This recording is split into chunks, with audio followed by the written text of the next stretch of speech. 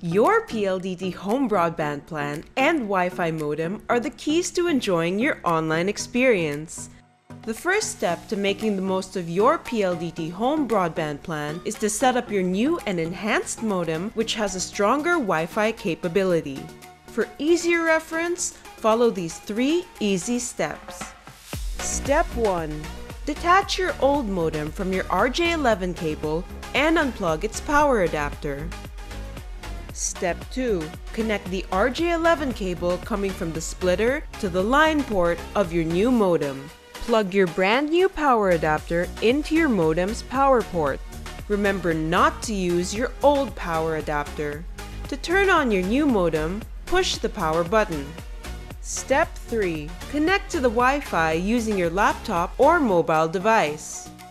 To connect your laptop to the Wi-Fi, click on the PLDT Wi-Fi name PLDT Home Fiber or PLDT Home Fiber 5G on your Wi-Fi list.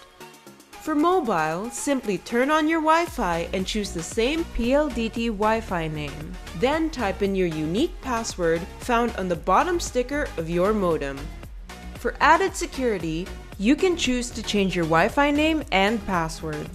Simply open your browser and type in the following address then, type in the default username and password. A change password page will appear. You must change the default login password and Wi-Fi passwords. The modem will restart and you will have to reconnect your device to the Wi-Fi using your new password. On your online browser, retype 192.168.1.1. Then click Wireless on the left-hand tab and change your Wi-Fi name under Basic Settings and Wi-Fi password under Security Settings to your preference for both WLAN 2.4 GHz and WLAN 5 GHz. Then click Apply Changes. With your modem setup, you can now enjoy better surfing experience.